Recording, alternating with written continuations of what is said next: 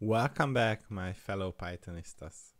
In this video I am going to show you how you can build your Python package or Python instance from source.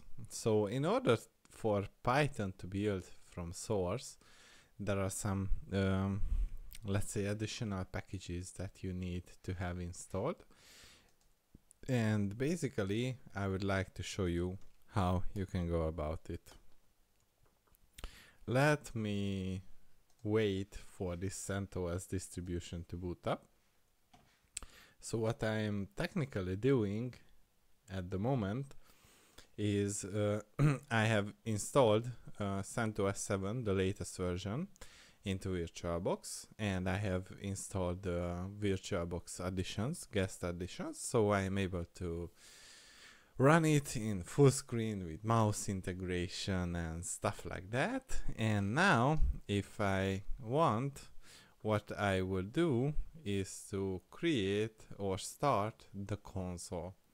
So console is going to allow me to interact via a terminal with the CentOS instance and uh, let me try and resize this for you. So if I go back to the current uh, profile, you can see that I can increase the text size and stuff like that. And now we can technically take part in the installation. So I will sudo and uh, in order for the sudo to work with a passwordless fashion, what I did was to modify my etc sudoers file and what I did was to add my user to a passwordless sudo fashion and that's technically it. So username all equals all in braces, no password all and technically this is the passwordless sudo. What I need to do now is to install the development tools. And these development tools are necessary when you would like to build Python from source. And I will open the Firefox browser while this is getting installed. And uh, it should just take uh, a second or so. So I have uh, got uh, 2 core, 2 gigs of RAM virtual machine and if I go to python.org, I will be able to grab the sources. So let's go to the download part and all releases. And here I will select the 3.7 and I would like to grab the gzipped source tarball and just save it. Alright, the download is now complete. But the installation is pending. So when I uh, used to study at the University of Debrecen, I I fell in love with Linux distributions, and one of my favorites were the ones with KDE desktop environment. So KDE desktop environment is pretty fancy and back in the days it was very unstable. So you had recent crashes and kernel panics and stuff like that. But uh, since then it became a very mature desktop environment and I especially love these widgets that you can put onto your screen that show your status of CPU utilization, RAM utilization, and you could also configure them that you would like to see a total or a specific CPU and stuff like that. So now we have installed our development tools. What we need to do is to install the GCC, the Open, SSL devel, the bzip I said zip to devel and don't forget the dash. And we need to do the libffi devel and the z lib devel and after it collects what needs to be installed it will take uh, considerably less amount of time than installing the development tools themselves. But um, once it is done what I can do is to navigate to my home. ReaperPy downloads and simply issue the tar x z f v python tar.gz now I have two folders and I can navigate to my python 3.7 and what I can do is to issue the configure with the enable optimizations and without ensure pip. So uh, the optimizations should give you a little bit of speed boost and uh, without ensure pip is uh, going to exclude the the pip package manager from your build.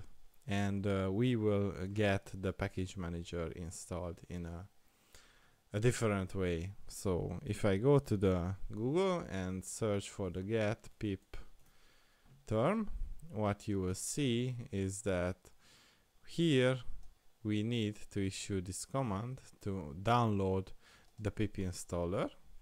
So let's uh,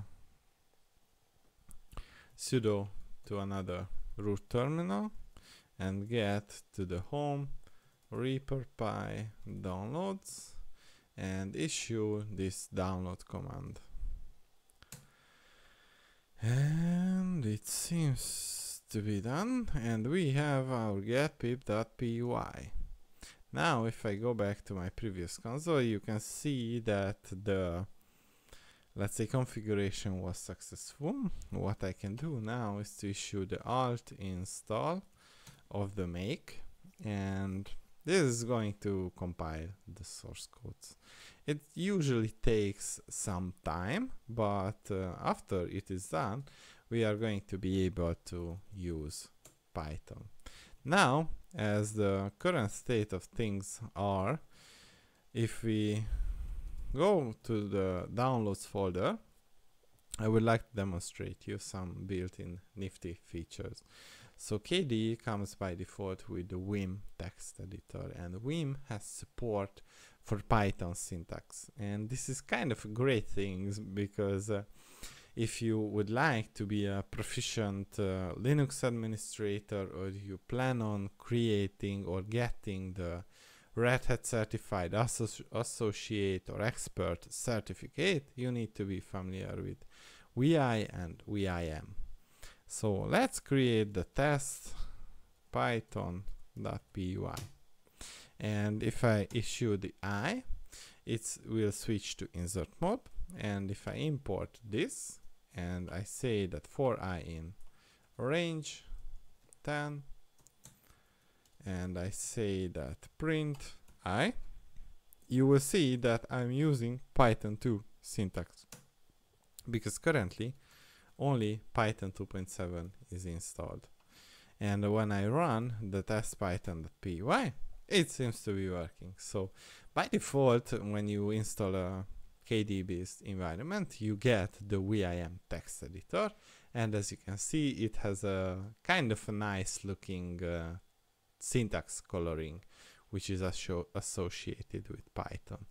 Now, since this is still building, what we are going to do in the meantime is to issue the sudo python per home ReaperPy download getpip.py and what it will do is to install the pip package manager to the 2.7 Python because by default it doesn't come with the CentOS installation. And now since the pip is installed you will see a deprecation warning because the end of life of pip is 2020 January. So let's shed a tear for the 2.7 version.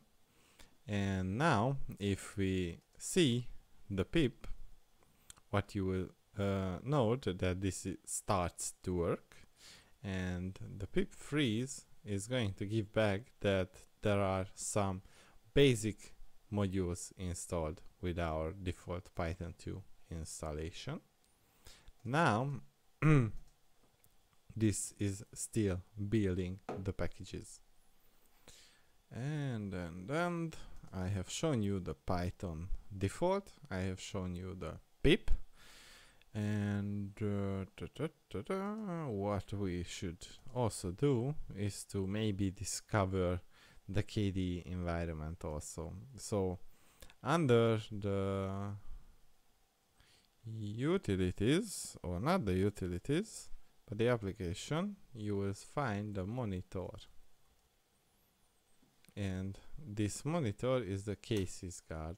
So KSysGuard is the task manager which you may be familiar with from uh, Windows platforms but it's a little bit buffed up version so I personally really like the way that uh, they are drawing the graphs. They allow you to have insight as to what is running on the process table what users are running them and you could also see that it allows you to dynamically filter these processes. So it's it's kind of a, a neat thing to use and uh, since we are at the compilation phase it should be no time until the process ends. And after this completes we are going to install the pip for the 3.7 version. And we are also going to use the so-called uh, update alternatives uh, command to uh, allow you to refer to the 3.7 Python interpreter from your console. And there is also an, an, interesting thing to note is uh, that by default Yum, the package manager of CentOS, relies on Python 2.7. So if you switch out the default Python command to the 3.7, you will technically wreck your CentOS system because it will try to run everything related to the Python 2.7 interpreter in a 3.7 interpreter and since there are syntax differences it will not work and die with an error. So now our alt install is complete. What we can do is to call the update alternatives and we will say the dash dash install. And forward slash user binary python 3 python 3 and user local bin python 3.7 1 and we would like to call the update alternatives config and python 3 now this will ask us a selection number and we will specify one. Now what we should see in a different console is that we have the python 3.7 available. And uh, if you want to verify that your installation is working you should check to see if you can able if you are able to import the SSL module and the Z lib module. If they succeed you did well and you follow the dependencies properly. If not then you you should go and troubleshoot it or start it all over again because you uh, will have an Python instance with impaired or impaired uh, functionality. Now, with the sudo python 3.7, we should be a, a whoa whoa, what happened? We should be able to install the pip So we have the Python 7 and we would like to install the pip from the downloads get pip. Good. Now what this pip will do is to install the pip instance under the 3.7 interpreter.